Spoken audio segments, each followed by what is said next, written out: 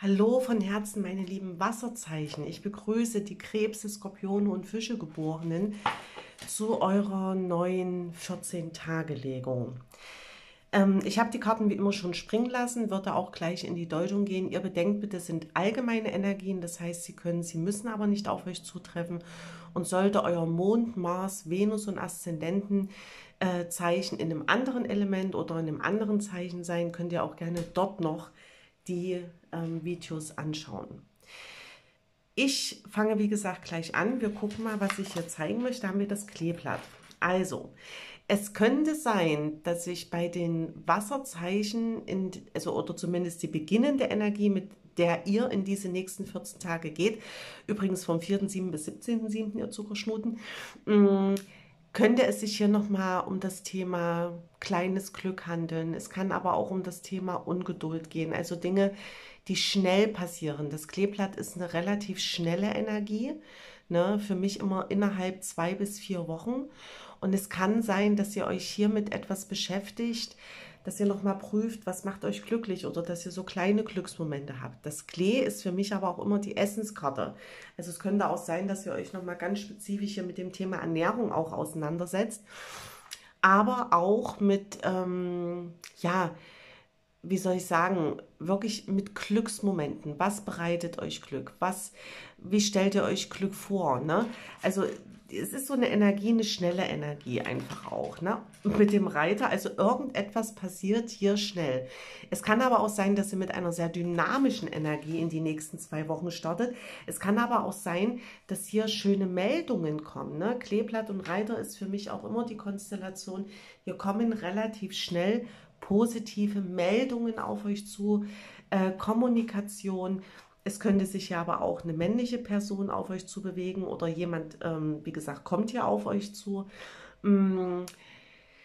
Ja, es kann aber auch sein, dass man hier versucht, anfängt, wieder Sport zu machen. Ne? Man entscheidet sich, äh, Ernährung umzustellen, mehr in die Bewegung zu gehen. Ne? Der Reiter ist für mich auch immer die Karte der Aktivität, der sportlichen Betätigung. Dann haben wir hier den Turm. Ähm, erste Intention ist, es kommen positive Meldungen bezüglich Ämtern und Behörden auf euch zu. Es kommen positive Bewegungen in alle Formen von selbstständiger Arbeit rein. Ne? Es kann aber auch sein, dass man hier aus einer Rückzugsenergie rausgeht. Ne? Der Turm steht ja auch immer für eine Rückzugsenergie. Das heißt, die Wasserzeichen haben sich vielleicht in der Vergangenheit einfach so für sich ein bisschen rausgezogen, haben für sich geprüft, was will ich. Es geht auch hier um Werte. Ne? Ähm, der Turm ist für mich in der Astrologie auch immer Saturn und Saturn ist der Prüfplanet. Also vielleicht haben die Wasserzeichen oder einige Wasserzeichen unter euch hier wirklich ganz viel geprüft und, und für euch herausgefiltert oder versucht herauszufiltern, wie soll es denn hier für mich weitergehen? Na, wir gucken mal, da haben wir hier die Uhr. Ne? Die Uhr ist der Hinweis darauf.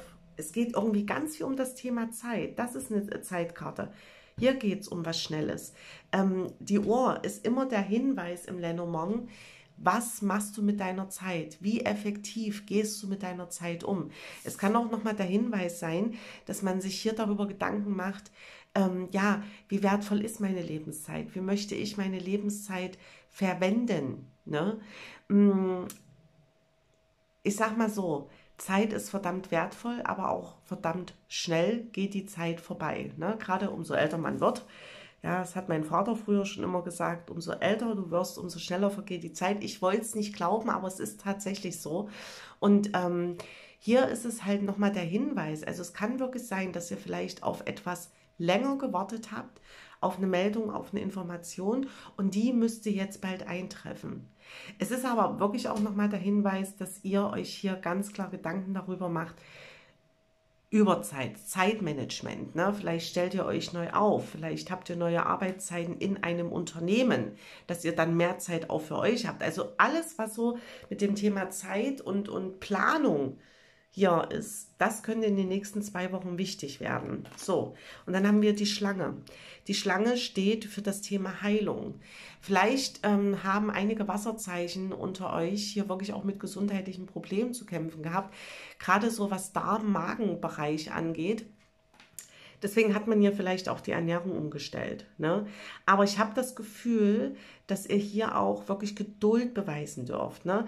Am Anfang vielleicht relativ ungeduldig, der Hinweis der Karten, aber habt Geduld und hier liegt dann zum Schluss auch wirklich die Heilung drauf. Langfristige Heilung. Also ihr wollt hier wirklich auch langfristig etwas verändern. Ne? Sei es Ernährung, Zeitmanagement, Work-Life-Balance. Ne?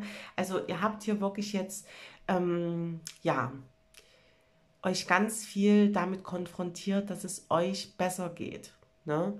So, wir schauen mal hier, ach, da haben wir wieder die Geduld. Ne? Also wieder eine Zeitkarte. Die sieben Münzen ist auch wieder eine Zeitkarte. Es ist aber auch die Erntekarte. Ne?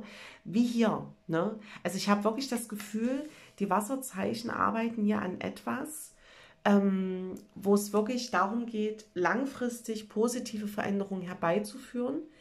Und aber hier wirklich der Hinweis und ja, wirklich in der Geduld zu sein.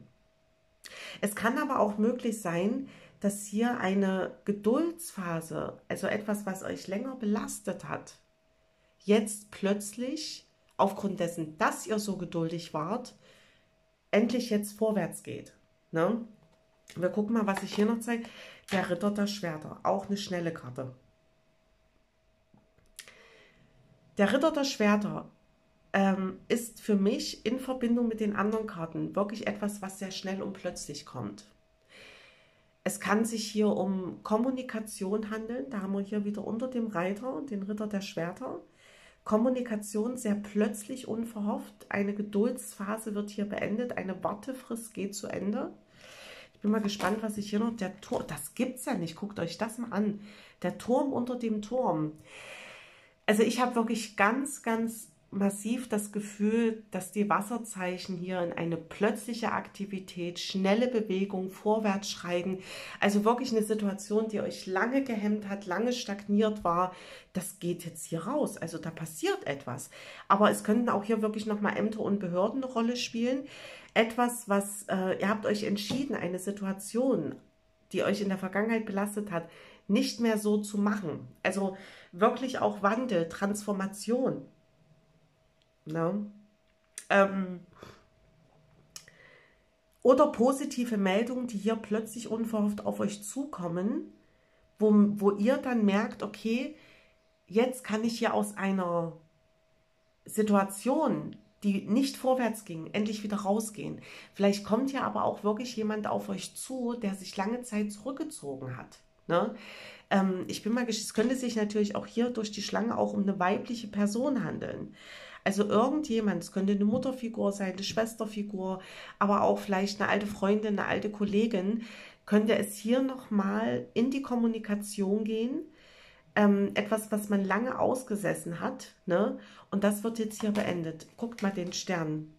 Das ist einer der drei Schutzkarten im Tarot. Der Stern aus dem Tarot, was kommt danach, ist für mich auch ihr erntet irgendwas. Also da, wo ihr lange Geduld bewiesen habt, wo ihr vielleicht auch lange etwas ausgehalten habt, da kommt jetzt der positive Wandel rein. Und hier haben wir die vier Stäbe.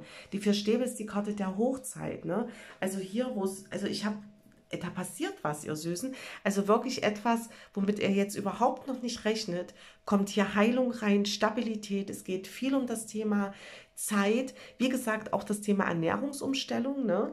Ähm, ja, vielleicht ist es wirklich so, dass ihr hier auch gesundheitliche Probleme hattet, aber auch da liegt hier ein positiver Wendepunkt drauf. Ne? Ich will noch mal hier gucken, was sich aus dem äh, Lenormand noch zeigt, weil ich glaube, mehr als hier wirklich zu sagen, aus einer stagnierenden Situation kommt Bewegung, Heilung und Stabilität auf euch zu. Ich will mal gucken, was ich hier noch... Ich lasse sie ja immer springen. Ne? Guckt mal, da haben wir schon welche. Dem Bären und die Vögel, Kommunikation. Eine männliche Person, ältere männliche, könnte auch ein Vaterthema sein. Ne? Irgendeine männliche ältere Person kommt ja auf euch zu. Auch das Thema Kraft und Stärke, Stabilität. Ne? Ähm, also ihr kommt hier wirklich in eine wunderbare Phase. Das könnte, das ist auch noch, fällt mir auch noch auf. Der Turm, ähm, wir haben ja momentan auch den Saturn rückläufig. Und ich sagte ja vorhin, der Turm ist für mich auch in der Astrologie hier dann auch Saturn. Es geht hier wirklich nochmal um alte Prüfungen, die ihr zu bestehen habt. Ne? Die haben euch hier wahrscheinlich auch ein bisschen Kräfte geraubt, aber ihr kommt jetzt wieder in eure Energie. Ihr habt eine Prüfung erfolgreich beendet. Und das wiederum bringt euch hier langfristig auch in die Heilung. Ne? Wartet mal, ich will mal schauen. Ach, guckt mal, das sind ja, Thema Selbstwert. Ne? Das könnte sich auch um das Thema Finanzen handeln. Und guckt mal, wieder der Stern. Also ihr Süßen, ich sag euch, wer in dieser Reisegruppe ist, kommt aus einer schwierigen Lage raus. Der Mond steht ja auch alles nochmal für alte Ängste, Zweifel, aber auch für innere Kindthemen. Der Mond in der Astrologie steht auch für die Mutter, aber auch fürs innere Kind. Das lege ich mal hier auf die Schlange, weil es auch das Thema Heilung ist. Psyche, ihr werdet hier wieder stabiler. Ne? Ähm, eure Nerven, ne, wenn ihr jetzt wirklich nervlich sehr angespannt wart, die Nerven gehen in die Stabilität. Ihr kommt hier wirklich in euren Selbstwert. Es kann sich, wie gesagt, auch um finanzielle Angelegenheiten handeln. Ne? Und das ist für mich auch immer, Kreuz und, und Sterne, ist für mich auch immer Auflösung von Karma. Ihr habt erfolgreich eine Lernaufgabe bewältigt. Das hatte ich ja hier vorhin auch schon gesagt. Also ihr Süßen, äh, ich... Ähm, mache jetzt auch mal hier einen Cut, ne? Laberababer. Ähm, hier kommt definitiv positive oder kommen positive Wandel, Wandel auf euch zu. Ja, und ich hoffe, hier sind ganz viele von euch in der Reisegruppe. Ähm, weil das finde ich wirklich eine Wahnsinnsenergie. Ne? Ja. Mehr gibt es nicht zu sagen. Ich wünsche euch bezaubernde zwei Wochen. Ich hoffe, es hat euch ein bisschen geholfen. War nicht zu Kauderwelsch. Ähm, und ja, bis dahin, eure Helene.